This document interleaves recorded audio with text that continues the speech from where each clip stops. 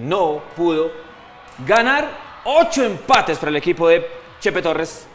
Bueno, vamos a ver las imágenes. Ahí estamos en el Atanasio Girardot. La imagen de Miller Mosquera, Sebastián Pérez.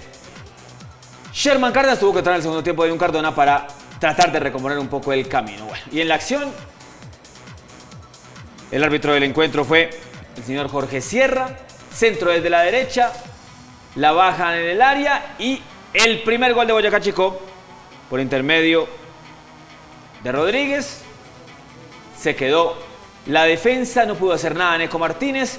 Bien por el jugador Tabima, que es el que la baja, el ex Real Cartagena y el 1-0. Eh, Alexander Mejía, otro de los que estuvo en Selección Colombia, pero que también ya actuó con su club, igual que Camilo Vargas. El centro y gran gol del Quincalle, sí, el lateral derecho, que aparecía para el empate, minuto 43. Buen cabezazo del ex Deportivo Cali, Medellín, y dejó completamente quieto a un ex Atlético Nacional, Andrés Saldarriaga, que tapó, no tapó Eder Chaus. La imagen del Atanasio, no mucha gente acompañando a Atlético Nacional. No le ha ido tan bien en Liga Postobón, pese a que venía a ganarle 4-0 Equidad el lunes anterior en el Campín de Bogotá. Y después llegaría esta jugada, una mala entrega de Boca Negra, se equivoca Sherman, le queda Juan David Pérez y preparen, apunten y fuego. Golazo. Muy bien, muy bien. Y estoy, ¿no? Todavía. Muy bien, Me falta. Me falta dos cosas, eh, ritmo, tono, no mentiras. Gran gol de Juan David Pérez y ganaba Boyacá Chico. Este gol fue al minuto 60, 15 del segundo tiempo. Después entró Edwin Cardona, el pase atrás, le pegó Sherman Cárdenas con la derecha y mordido, sí, pidiendo permiso.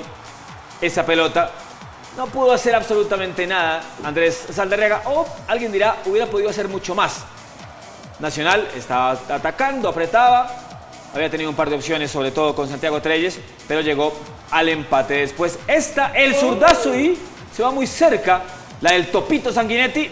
La pelota finalmente fue ancha, ahí está la imagen de el hermano de cara de Luis Suárez. Después el pelotazo de Boca Negra y palo, todavía se está moviendo el travesaño del arco. Sierra dijo nomás, empataron 2-2. Hay informes y hay reacciones.